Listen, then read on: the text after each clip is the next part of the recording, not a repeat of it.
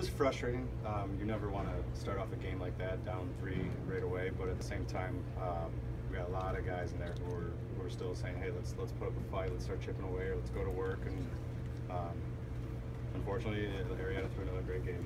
Um, but no, I think our guys, we, we, we fight no matter what the situation is. That's what we've been doing all year, and uh, being down 3-0 isn't any reason to hang it up at that point either.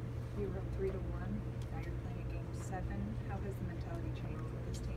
Well, I mean, being up 3 1 has put us in uh, this position. It's a fortunate position to be in where you can lose two and still have a chance to win. Um, getting outside the lead means that we can, well, we're still here. We're, we're playing for game seven. Uh, we knew it wasn't going to be easy. We knew they got a great ball club over there, and they were lined up with their, their three headed monster pitching staff, and uh, it's going to be a fun one. We're still very confident. They've done a great job of playing with their backs against the wall, and now we're going to see how we do. I know you A lot of talk as a Cubs fan, growing up a Cubs fan. Now you're seeing a game seven and playing a game seven for a city that also wants a championship. Yeah, well, I haven't been a Cubs fan since Indians drafted me, so I'm all all in with the tribe. And uh, no, Game Seven World Series, um, it's gonna be a phenomenal experience for me, for everyone being a part of it. But uh, we're gonna really want this one to come out.